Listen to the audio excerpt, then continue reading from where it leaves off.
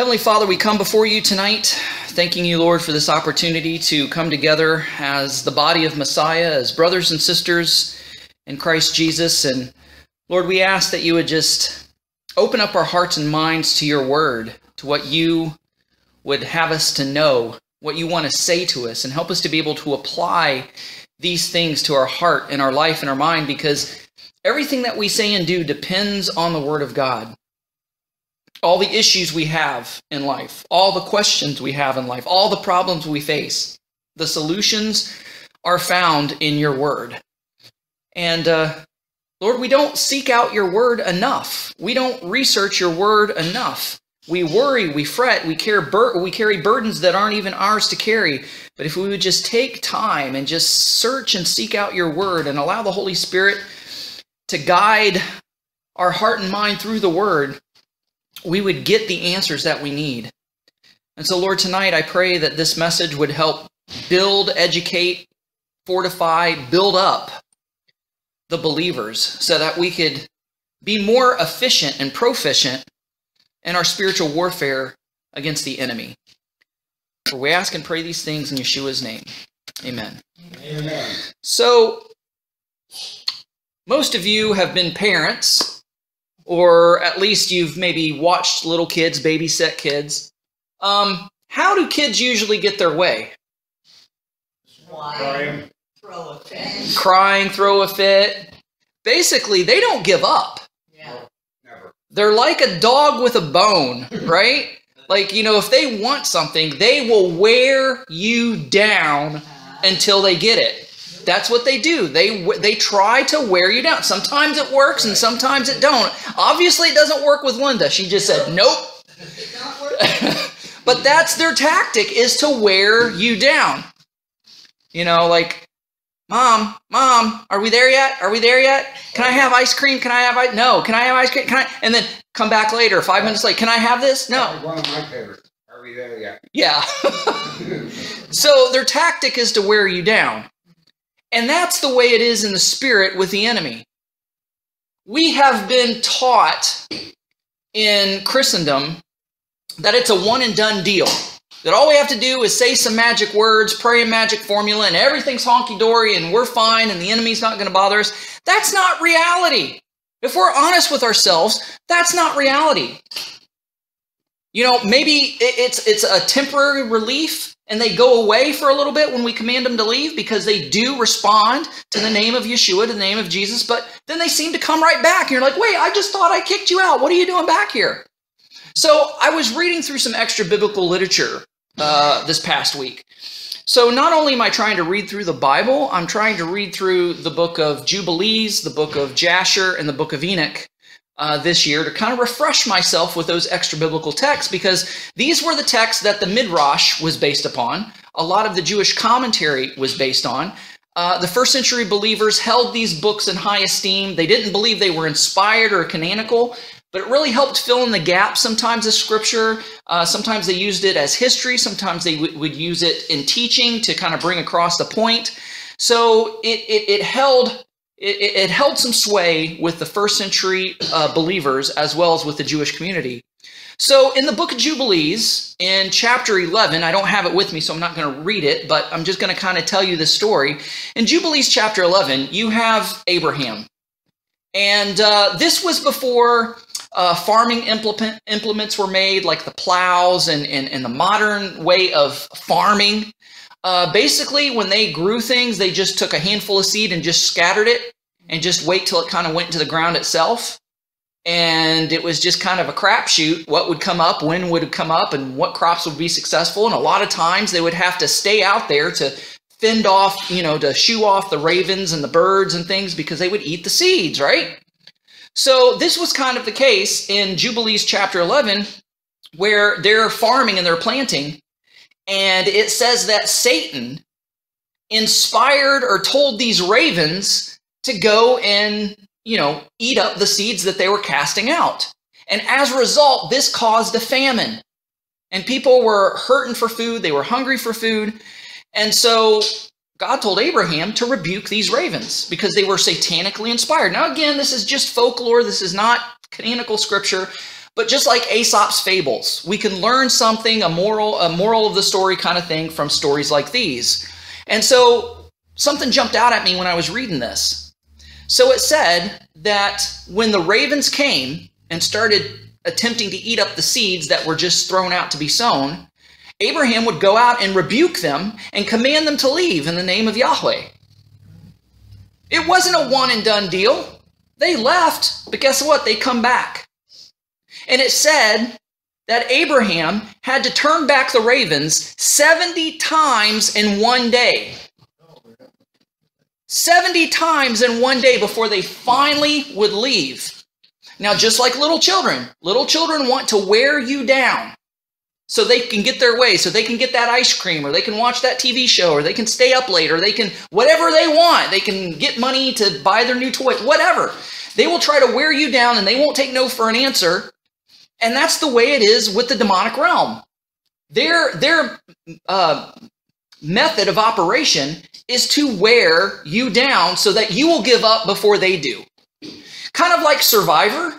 You know, the remember the TV show Survivor? It's that contest to see who could last the longest. It's outlast, outwit, out. Still going. Yeah, it's still going on.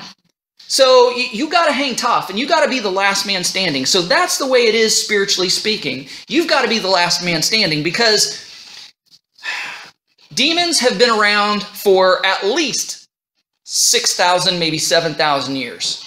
Because we know that demons are the product of the disembodied spirits of the giants. That's what we know to be demons today. They're different than fallen angels. The fallen angels that perpetuated, uh, uh, uh, slept with the human women and created these giants, most of them were punished and they were locked away. And then you have other fallen angels that are running around acting like they're gods and you know they still kind of have a hand in national things but it's mostly the things we deal with is mostly demons which are these disembodied spirits of the giants.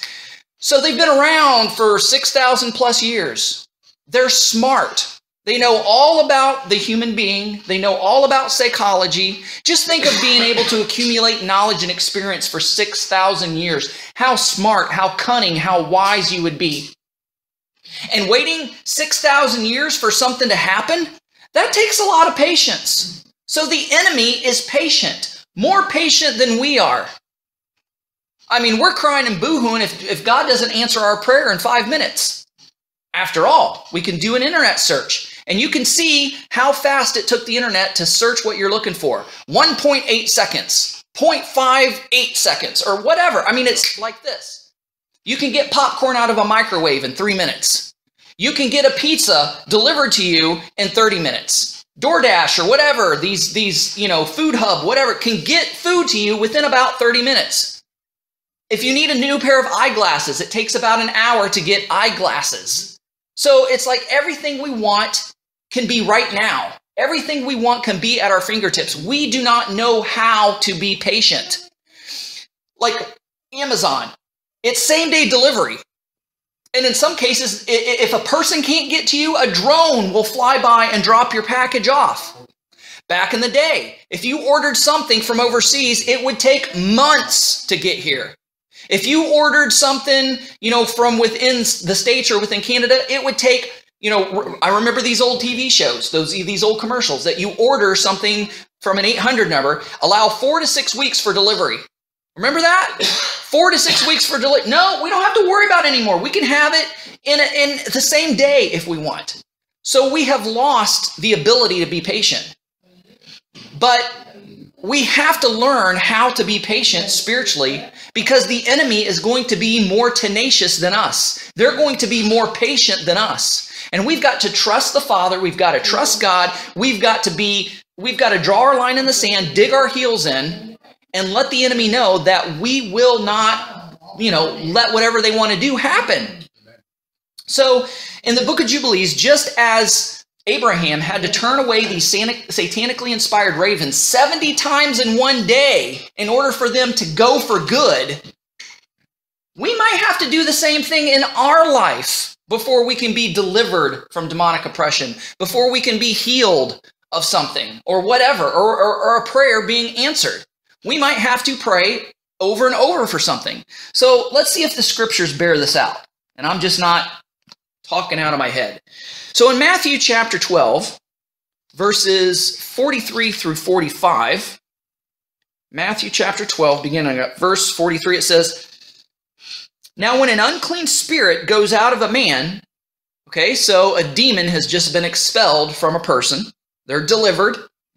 It passes through waterless places looking for rest but doesn't find it. Now, why is that?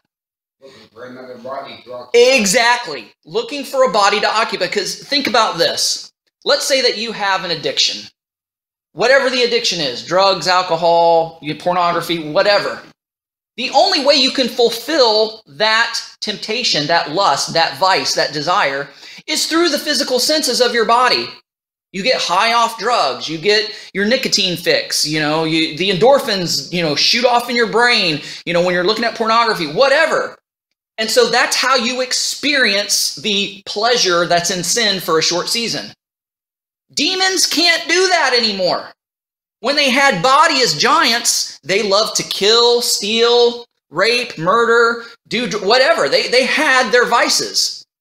Now that they don't have a body, they have no sensation to feel those things, to experience those things. They just have memories that haunt them. So they are desperately looking for a body in order to use as a medium to be able to fulfill their lustful desires and to feel those sinful sensations again. And so it's that's that's what it's talking about dry and waterless places. Looking for rest but doesn't find any. Because when you when you when you are when you can't get your fix, you're restless. You're not at rest. You're fidgety until you get your score, until you get your fix. That's the way it is with a demon. Verse 44, then it says, I'll go back home where I came from. And when it comes and finds the house vacant, swept clean, and put in order. That's when a person thinks that they're de- when when they're delivered and they're like, "Ah, I can finally rest now." Okay. If I clean the house once, does that mean that I don't have to clean ever again? Yeah, I wish it was true, but that's just not reality. You have to clean every day, every week. There's certain things that you do every day, there's certain things that you do every week because, you know, like one of the things that fascinated me in a little as a little kid was dust. My mom would dust, but yet in the morning time, I would be sitting at the window and I'd see the sun sunlight come in the window and I see all these dust particles floating. And by the end of the day, there would be dust where my mom just dusted. So, you know, and then just regular everyday living, running in and out of the house, you track in stuff. So, just as you can't clean once and it be all done and everything's fine, spiritually speaking, once you clean yourself up, you've got to spiritually maintain that clean state. So you've got to stay clean. You've got to stay pure. You got to read your Bible. You got to study the Word. You got to fellowship with other believers. You've got to, you know, participate in Bible study. You've got to pray. You've got to worship. You've got to do these things to maintain that spiritual cleanness. Now, again, works don't save you, but our salvation is maintained by our works. Because I guarantee you, I don't care how saved you are, if I stopped fellowshipping, I stopped praying, I stopped reading the Bible, where do you think my relationship with God would be in a year's time after that? Probably right back where it started. Yeah, Maybe may, yeah, maybe worse than I was before. Okay. I'm not I'm not growing, I'm not edified, I'm not living victoriously. Maybe habits and vices and things come back into my life because of that. So it says, then it goes and um, then it says, I'll go back home where I came from. And when it comes and finds the house vacant, swept clean, and put in order. So, first of all, the cleaning has to be maintained. Second of all, if a house is vacant, a demon is like, well, there's nobody occupying it. I'm going to squat here. So, where do you find homeless people in the wintertime? Abandoned houses, abandoned factories. They're squatting in places that are vacant. So, if you don't have the Holy Spirit occupying your heart and your mind, then your, your spirit is vacant and it's prime real estate for a demonic entity to take up residence because a demon and the Holy Spirit, an evil spirit and a clean spirit, can't live in the same body. So if you if you are filled with the Holy Spirit and, and, and the Holy Spirit is in you, active in you, and Jesus Christ is sitting on the throne of your heart, you know, then these demons don't have a chance on, on getting in. And you know what? Satan couldn't even dethrone God. He got booted out of heaven, but yet we as human beings, We're dumber and weaker than angels, but we have the power and the ability to dethrone God. Not saying that we can't go, we, can go up to heaven and dethrone him, but we can dethrone God from the throne of our hearts.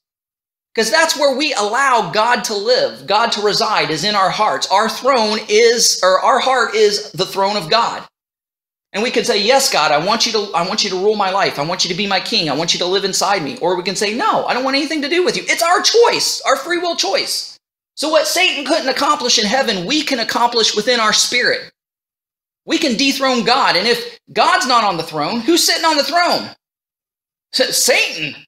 That's really it. You say, well, no, I'm in control of my life. No, there is no middle ground because your fallen self is automatically in league with the devil. It's not redeemed, it's not regenerated. There's no straddling the fence. There's no I'm for myself. It's either one team or the other team God, team Satan. There is no in between. If you serve yourself, by default, you're serving Satan because who did Satan serve? Satan served himself. He's all about the self. So it says, then it says, I'll go back home where I came from. And when it comes, it finds the house vacant, swept clean, and put in order. Then it goes and brings along seven other spirits more evil than itself, and they go in and live there. And the man's last condition becomes worse than the first, so also will it be for this evil generation. So you have to have persistence. If you don't appreciate your healing, you don't appreciate your deliverance, it's not going to stick. It's not a one and done. Only Jesus, he's the Son of God, he could do a one and done. But he even warned the disciples that they couldn't do a one and done that it's different with us human beings. We do have the power and the authority of the name of Yeshua, of the name of Jesus. But in Matthew 17 21, during that episode where you had the man who had the demon possessed son, Jesus and uh, um, Peter, James, and John are on top of the mountain, fellowshipping with Jesus and, and, and getting to meet uh, Moses and Elijah.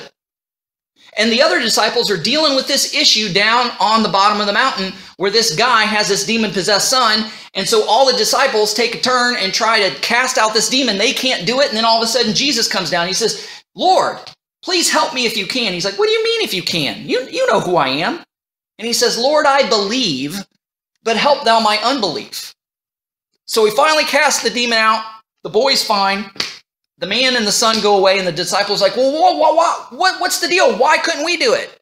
And he said, sometimes these things can only come out through prayer and fasting. So t- sometimes it takes a, a, a discipline, like discipline in a spiritual battle to, to be able for somebody to be delivered. Now the person's got to want to be delivered. And they're, they're as much as part of the deliverance as you are assisting them in that deliverance. So even Yeshua said, that sometimes this, these things can only come about through prayer and through fasting. So uh, I'm going to go to Luke chapter 18. Luke chapter 18. We'll start with verse 1. Then Yeshua told them a parable to show that they should always pray and not be discouraged. He said, There was a judge in a certain city who neither feared God nor respected people. He was not a very good judge, was he? He was just out for himself. He enjoyed the power, he enjoyed the, the prestige, the reputation. Verse 3 Then there was a widow in the city who kept coming to him, saying, Give me justice against my opponent. So this woman was persistent. She wasn't going to give up. She wasn't going to take no for an answer. This judge wasn't judging. He wasn't doing this lady justice. He was just ignoring her. But the lady wouldn't stop. Verse 4 He was unwilling at the time, but afterwards he said to himself, Although I don't fear God or respect people, yet because this widow keeps bothering me, I will, I will give her justice so that she won't wear me out with her incessant coming. Sometimes we've got to be persistent in our prayer, persistent in our efforts of deliverance, persistence in our effort of spiritual battle and spiritual freedom. This widow, she wanted justice. She wouldn't leave this judge alone. He tried to block her phone calls. He tried to put guards at the door. He tried to ignore her. But somehow, some way, she always got to him. Say, hey, what about my case? What about my case? What about my case? He's like, I don't give a rat's butt about this lady or her problem. But so she'll leave me alone. I'll finally give her what she wants so she'll leave me alone. Isn't that what little kids do when they want something? They will bug you until they get what they want. They don't care if they get yelled at. They don't care if they get sent to the room. They don't care if they get spanked. And, and, and, they won't leave you alone until they get what they want. If a child is that persistent, how much more so as spiritual grown adults should we be persistent in prayer in regards to spiritual warfare, in regards to healing, in regards to deliverance? Now remember, the enemy is much more patient than you are. They've been around for over 6,000 years. They can wait, they can outwait you. So are you going to be more tenacious than the demons? Are you going to make them tired of coming back over and over and over again? Or are you just going to say, "Oh, well, I give up. I'll just I'll just I'll just put up with this. It's not so bad." Or are you going to be persistent until they leave you alone? Sometimes we give up too quickly spiritually speaking. And it's because we've been misinformed and mistaught that it's a one and done deal. And if it doesn't work, then something's wrong with your faith. You didn't have enough faith. Faith's not the issue here. If you didn't have faith, you wouldn't be even rebuking.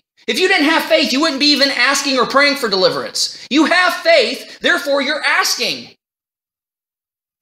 But we just stop short. How many of us have lost loved ones that we used to pray for every day, but we're like, oh, I don't see a change in them. I don't see anything happening. They're never going to get saved. They never listen to me. And you just stop praying for them. Maybe you were that close to getting through to them. There's like this illustration of this, this cartoon of this guy that's in prison and he digs a hole and he's trying to dig out, you know, just to get to freedom. And he gives up just feet away from breaking through that wall. Because he's like, oh, there's no use. Oh, you know, I should have been there by now. And they and he gives up. He could have been free. But we give up too easily. So um I will give her justice so that she won't wear me out with her incessant coming. Then the Lord said, Hear what the unjust judge is saying. Won't God do justice for his chosen ones who cry out to him day and night? Will he be slow to help them?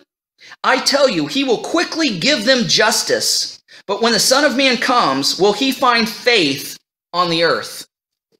So, an element of faith is not just having the faith to ask and believing it'll be done, but the persistence to keep on asking when it doesn't seem like your prayer is being answered. When it seems like the deliverance is not happening, when it seems like the healing is not occurring, is to be persistent. And in Luke chapter 11, there's another lesson about persistency that the Lord gives us. So in Luke chapter 11, starting with verse 5, then Yeshua said to them, Which of you has a friend and will go to him in the middle of the night and say to him, Friend, lend me three loaves of bread, because a friend of mine has come to me on his journey, and I have nothing set before him. Then the one uh, then from within he may answer saying, "Don't bother me. The door's already locked and my children and I are in bed. I can't give up to give you anything." I tell you, even if the friend will not get up and give him anything out of friendship, yet because the man's persistence, he will get up and give him as much as he needs. The guy said, No. Me and my kids are in bed. Leave me alone. But the guy kept knocking on the door. I need three loaves of bread. I need three loaves of bread. I need three loaves of bread. I need three loaves of bread. I need three loaves of bread. How many of you, just to shut the guy up, would get out of bed and give him three loaves? Yeah, you want to go to sleep. And because of the persistence of this guy, the, the, it's like, okay, I'm his friend, but I'm not getting up because he's my friend. I'm getting up because I'm sick of hearing this guy knocking on my door asking for free three loaves of bread. So Yeshua is saying, be persistent here. So it says, I tell you, even the friend will not get up and give him anything out of friendship. Yet because the man's persistence, he will get up and give him as much as he needs. So I say to you, ask, and it shall be given to you. Seek, and ye shall find. Knock, and it shall be open to you. Now, that's kind of a poor translation in all honesty. Because the grammatically, the way it is in the Greek, it's keep asking, and it shall be given unto you. Keep seeking, and you shall find. Keep knocking, and the door shall be open to you. Keep doing it. Keep doing it until the question, keep asking until the question is answered. Keep seeking until you find what you're looking for. Keep knocking until that door is open to you. Now, again, this is all, let me preface this all. I'm not trying to be some sort of name it and claim it kind of guy. You know, sometimes the Lord says no and he means no. So if we're asking according to his will, is it is it God's will that you be delivered from spiritual oppression? Of course it is. That's a no-brainer. You know, does he want you to walk in health? Yes. Doesn't mean he's going to heal you of everything because even Paul the apostle asked God to heal him and deliver him from something. And he says, "No, no, no, you need this because my grace is sufficient." Basically saying, "Paul, if I deliver you from this, you're going to get a big head." And you're going to ruin your ministry. You need this to keep you humble. You know, so sometimes we have to deal with the grace being sufficient, but as far as spiritual warfare goes, as far as spiritual oppression goes, and demonic oppression and demonic harassment, it's never God's will that they hang around to make you strong or to help you depend on God. But no, He wants you to have authority over these things. He doesn't want you to be spiritually oppressed or possessed. The only thing He wants you possessed with is by your willing choice of being possessed by the Holy Spirit. So I say to you, keep asking, and it shall be given to you. Keep seeking, and you shall find. Keep knocking, and it shall be open to you. For everyone who asks receives, and the one who seeks finds, and to the one who knocks it will be opened. Now I have a bad habit of losing things and then praying, "Oh God, help me find them," and I don't find them in the time frame I want them to be found, and I get mad. But I tell you, I have this little book and I wrote down all my scripture memory verses in it. And I go through it every day trying to memorize a verse. Well, I lost it. I've got two. I've got one with King James Version, one with Christian Standard Bible Version. I lost my King James one. And I was looking for that. I'm thinking, man, did I leave it at Harvest House? Did it fall out of out of my pocket? And, you know, did it fall out of the car? I'm looking in my car. I'm looking everywhere, and I'm praying and I'm praying and I'm wanting to find it. And I get frustrated. I'm like, oh, you know, because I'm not finding it when I want it to be found. But then I said, Lord, I said, it'll be found in your time. Please help me to find this. You know that it's important to me. You know that it's because I want to memorize your word and hide your word in my heart that so that I might not sin against you. So help me, Lord. Well, lo and behold, just the other day, when I wasn't even looking for it, I found it. Yeah. And it was what happened is it fell off my desk and it fell between my desk and a shelf. So it was in that little cranny and it was dark and I didn't know. And then I was reaching down to get something off the floor and I was like, oh, there it is. And I grabbed it and I kissed it for about five minutes and I just said, thank you, Lord. Thank you, thank you, thank you, thank you, thank you. But, But- have you ever noticed when you lose something, you always find it in the last place you look? That's, that's right. you always find it in the last place you look. That's true. You do that. So, um, let's see. So you have to outlast the demonic entities who are oppressing you or harassing you. Because, like I said, they've been around for thousands of years and they are extremely patient. Now, let me turn to Matthew chapter 15. Matthew chapter 15, verse 21. Now, see how even the extra biblical texts will kind of butt up against and, and, and it'll be supported by the canonical scriptures.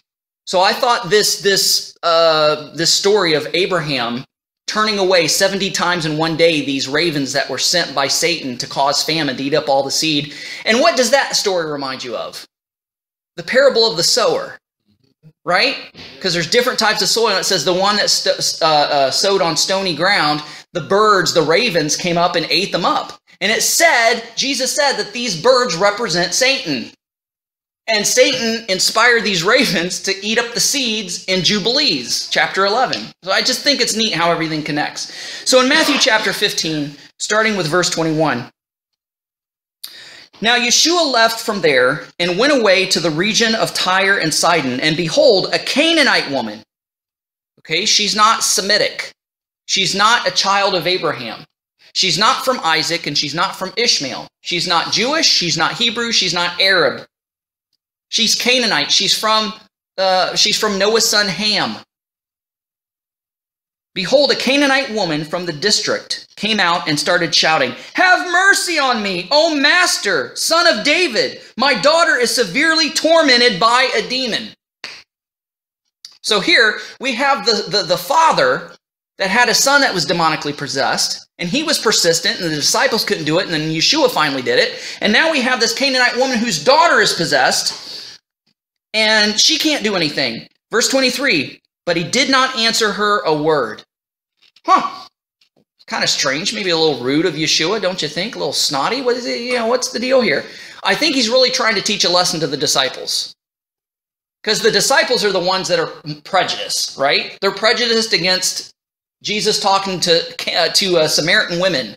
He's they're prejudiced against him acknowledging prostitutes, washing his feet. You know, I mean, they're the, all the ones that have a beef with all the other ethnic groups. Even one time, uh, uh was it? I think it was James and John. We're saying, Lord, they're rejecting you. We'll we'll we'll call down we'll call down lightning and burn these guys up. And he's like, you guys are idiots. I'm just to nickname you because the Sons of Thunder. Really? You want to waste these guys? Like, it was funny. So it says, But he did not answer her a word. And when his disciples came, they were urging him, saying, Send her away because she keeps shouting at us. They were getting uncomfortable with this lady crying out, Oh, Master, son of David, my daughter is severely tormented by a demon. Okay, maybe he didn't hear me the first time, so she says it 20 more times. And the disciples are getting nervous. Remember the same thing happened with the blind guys? They were shouting, Son of David, have mercy on me. And people's like, Shut up. Just be quiet. They said, Forget you. I know I can get healed. You know, you're not the one who's blind. I'm blind. They kept crying out until Jesus gave them attention and he healed them. Same thing with this Canaanite woman. Yeah, well, that was the ten the ten lepers. Yeah, the ten lepers. Yeah. And so, verse twenty-four. But he responded, and, it, and and the response was what the disciples were expecting Jesus to say, right? And so, it, it, again, it seems like Jesus is being rude, but he, he's testing the disciples and he's testing the Canaanite woman all at the same time. But he responded, "I was only sent to the lost sheep of the house of Israel." Look, you're not even Jewish. Not only are you Jewish, you're not even Hebrew. You're not part of Judah. You're not part of the other 10 tribes that's been lost in Assyrian captivity. I come from them, for, for them guys, not you. You're Canaanite. So she came and got down on her knees before him. Okay, she was willing to not only cry out for help until it was uncomfortable for everybody hearing her and people wishing she would shut up. She not only she humiliated herself and came down on her hands and knees before him and saying, "Master, help me." And he answered and said, it's not right to take the children's bread and throw it to the dogs. Wow, that's he's he's really cutting to the quick. He's really cutting her down. Well, he's not. It's not like you're a dog like we think of you're a dog today. It was talking about household pets. We love our pets, right? We call our dog a dog. We're not insulting our dog, right? We treat them like little fur babies. Well, it's no different. I mean, they they treated their pets very well too. And he says it's it's not right to give to the uh, let me see. Yeah, it's not right to take the children's bread and throw it to the dogs. You know, it's the children's got to eat. You know, the pets have their own food, and we're going to feed the pet. You know. But she said, "Master, yes, master, I agree with you. But even dogs eat the crumbs that fall from the master's table." There was no five second rule in Israel. If it fall, fell to the ground, the dogs ate it. It was free game, right? She's saying you know what? You may not give me the children's food, but they even eat the crumbs that fall from the master's table. So this was showing not only her persistence, but it was showing her faith. Then answering, Yeshua said to her, Oh, woman, great is your faith. That's when the disciples rocked back on their heels. Oh, we, Jesus just played us. Yeshua said, Oh, woman, great is your faith. Let it be done to you as you wish and her daughter was healed that very hour. Persistence. So let's not get discouraged if we haven't been healed right away. First of all, we got to seek if God even wants to heal us. If it's a Paul situation and it's so that we can, uh, you know, uh, uh, not get a big head and that we can experience how sufficient His grace is, that's one thing. So we got, you know, but as far as demonic spiritual warfare, oppression, possession goes, there's no question about it. The Lord wants us delivered. And if you were being attacked by the enemy, being harassed by the enemy, we can't give up. We've got to be more persistent than the demon is. You may have to cast that demon out 20 times. You may have to command them to leave 70 times in one day, just like Abraham had to command those ravens to leave 70 times in one day. But as long as you're the one that, until it's done, and then they get tired, like, man, this guy's not going to give up. Let's just leave this guy alone. Let's try another time or let's go to somebody else. Because we are promised the victory, but we're not promised the victory right away.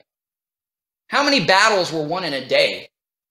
I mean, how long was, was World War One? How long was the Civil War? How long was World War Two? They were years. They lasted years. And some people fight their addictions for years, and sometimes people fight their demons for years. But as long as they don't give up and they're persistent, finally they're going to get tired and they're going to go away.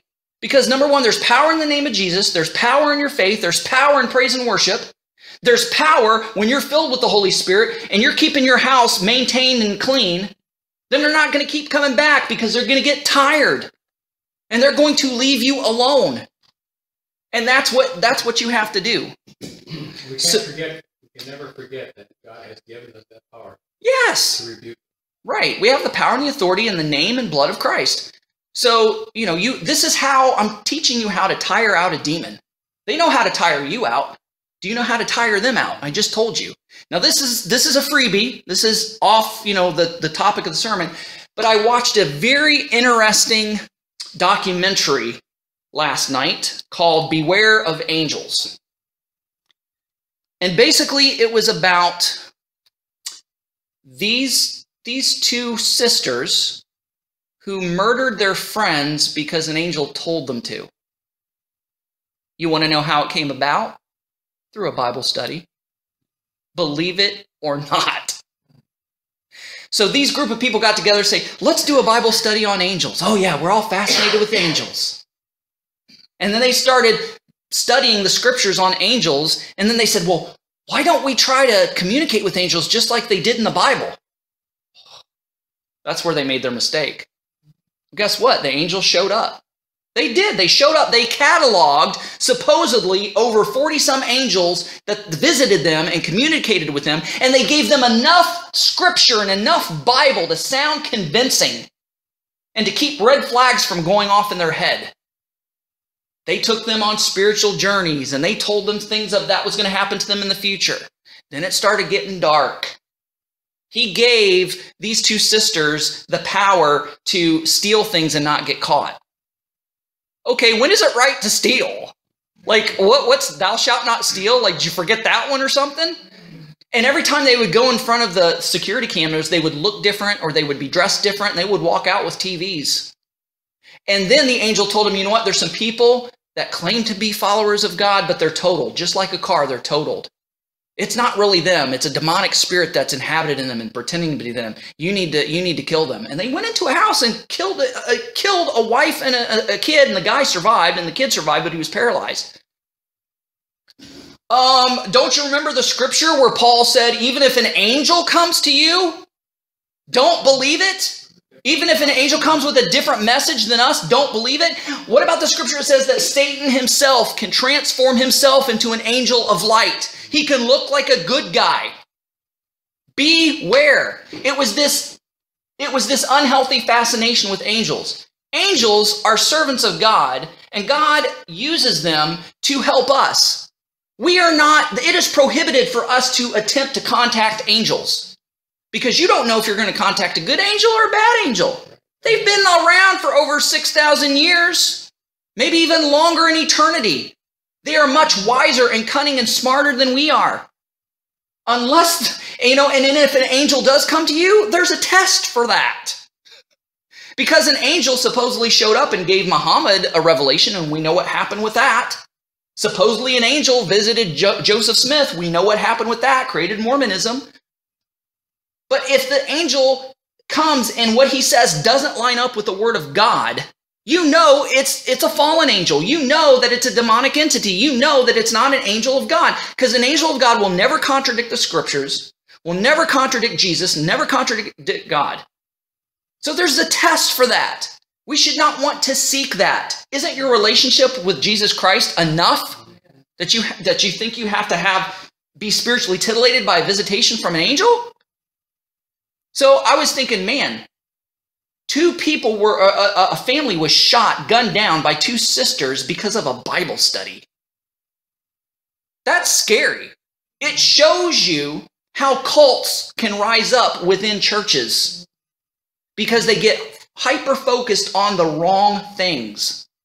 And within that documentary, there was a few other stories of people that were into New Age and they, they, they had special abilities. They had special powers. They can astral, astral project. They could levitate. They can do a lot of amazing things. And then things started to turn dark.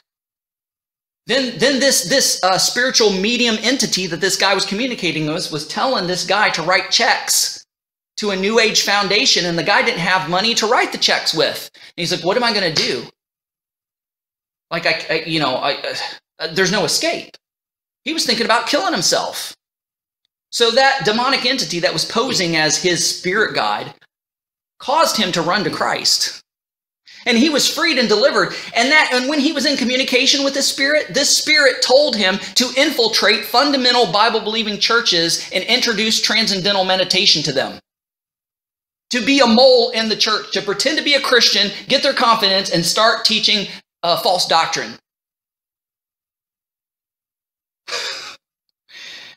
Yeah, pretty crazy stuff. And it's no wonder that a lot of churches today are are they have yoga classes in their church. You know, they they have drag queen story hour in their church. They have all this stuff in their church that you're thinking, why in the heck is that there? What happened to the gospel? What happened to the Bible? And they've gotten off track because they've got focused on things other than the Word of God. So, you know, just kind of putting that warning out there. And there's a lot of uh, churches out there that are not teaching. And pre- I've got a friend in Illinois, and him and his wife have been going to this church for a while. Well, they started teaching a Bible study class called "Where the Church Got It Wrong," and it's it's it's all about wokeism. It's they're trying to introduce evolution and how evolution jives with the Word of God. Uh, no, and trying to enter and so every time he reads the chapter of the book that he's going to be teaching on and he bones up on the truth of the word of god and comes back and challenges that guy.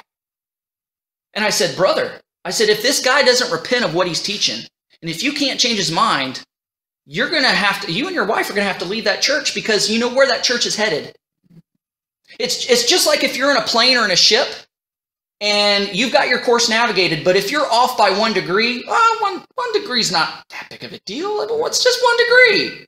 Except go 8,000 miles. Yeah, And you're off by a block. Exactly.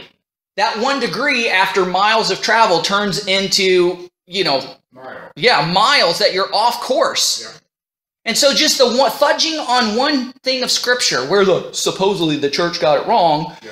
That one degree is, is that church goes down that path it's going to keep veering until it's a wide swath and they're off by a lot. And then that church is not even a church anymore. So I said, you either have to set these guys straight, and if they don't, you guys are going to have to leave and find a new church because you know where this church is going to head. And so it is, it is, it is not the congregant's responsibility to just go to church and, and expect to be spoon fed. It's their church, it's their responsibility to go to church and be fed, but to go back and study what they've been taught to make sure what they've been taught is the Word of God. Remember Paul and the Bereans? He says the Bereans are more noble than anybody I've run into because you know what? I'm teaching them these new things and they're not accepting it at face value. They're going back and studying what I taught to make sure that what I'm teaching is true. Because guess what? I'm a human being. I can make a mistake. And if I do, I'll come back and correct it the best of my ability. But I try not to teach anything that I don't know, you know, that, that uh, I, I got to make sure that I know what I'm talking about before I say it. And if I end up saying something wrong or by mistake, I'll, I'll do my best to correct it. But Paul was, was encouraged because they were studying the Bible outside of the realm of synagogue or Bible study or church or what have you. And they were making sure what Paul was teaching was correct doctrine. So it's your guys' responsibility to keep myself, to keep Aaron, to keep whoever you're sit under teaching in check whoever you're listening to on the internet or in the radio, to study what they're saying, to make sure what they're saying is true. Because if not, stop supporting them, stop listening to them. Because you don't want to go off by one degree, because one degree, several miles down the, road, is going to be off by a lot. Uh, Chris, if, if that happens to a church, will God continue to allow it to happen, or will He make things so that that church No, he'll allow it to happen because we have free will. He's not going to interfere with our free will. You know, it's it's just like, you know, for instance, just like um, a few years ago when a certain pastor preached that hell isn't forever. If I went to that church, that would be the last time I would go to that church. My, me personally. And remember, Aaron and I had to do a whole sermon to correct his false doctrine and his false teaching because it doesn't line up with the Hebrew, the Greek, or the scripture or Orthodox Christianity. And just think how much damage he did by preaching that message. Yeah, I, I was just, I was just thinking about the same church that we're talking about right now. Um, when they allowed their facilities to be used for getting the job. Uh, Yeah, stuff like that. Uh, Like, would God prevail and say, uh, okay, that's it? No, he's going to let it go. happens, He's going to let it go because we have free will. We can do whatever we want, and he's not going to stop and interfere. It's the responsibility of the elders and the congregants of the church to say, whoa, whoa, whoa, whoa, whoa, let's put on the brakes. We should double think this. Is this what we really should be doing? Is this what we really should be teaching? But no, the people of God has been convinced, oh, we're not as smart as our pastor. We're not as smart as our Bible teachers. After all, they went to seminary. After all, they've got a PhD. After all, so what? Mhm. It's your responsibility to search out the word and make sure, keep them accountable, make sure that they're teaching the word of God. I expect the same thing from you guys for me. I w- I wouldn't expect any different. Don't hold me to a different standard. Hold me, hold my feet to the fire. Make sure that I'm teaching and preaching the word of God. God will let a church go down its own path. He's not going to stop false doctrine in the church because it's the responsibility of the congregants to rise up against that false doctrine in the church, to challenge it. And if they don't agree, like what does the Bible say? You can so basically what this guy in, in Illinois is doing, he's gonna he's confronting the teacher. He's gonna meet with him private. I mean, he's confronting him in class, of course, when he starts teaching this ridiculousness. But then he's meeting with him in private, and if he doesn't accept his words in private, he's gonna bring two two more with him. And if he doesn't, he's gonna bring him before the elders of the church and say, look, you gotta change this. Because this ain't this ain't this ain't cool.